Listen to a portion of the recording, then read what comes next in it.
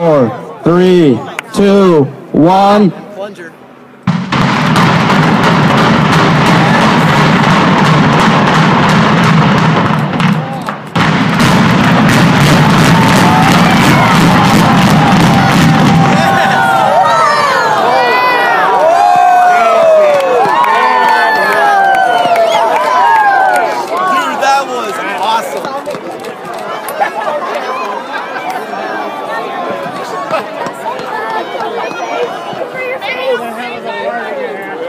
Well worth the, uh, the hour and a half.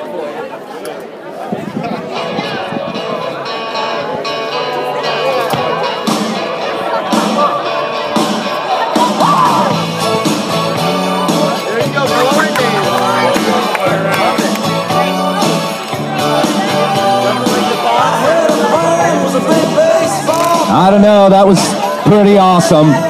Thank you so much for joining us here today for this historic once in a lifetime event. For those of you who lived in Gage, I know it's a bittersweet day. Even though the building is no longer here, you can't tear down your memories.